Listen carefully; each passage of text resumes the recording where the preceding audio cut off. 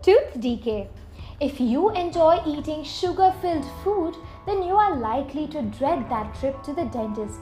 Lots of sugar can end up meaning painful tooth cavities unless you take extra care and brush and floss at least twice a day. A new molecule has been discovered that might take tooth cavities a thing of the past though. One thing is for sure, it's going to have a few dentists worried about their careers. It's not actually sugar that causes cavities, it's the bacteria Streptococcus mutans. This bacteria metabolizes the sugar in your mouth and turns it into lactic acid, which then attacks your tooth enamel. When that happens, your teeth become vulnerable to decay and cavities can form.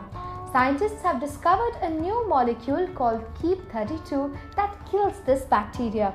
If successful, Keep 32 could make its way into toothpaste and other tooth care products, but it could also be added to food to stop the bacteria from causing damage at the time of eating.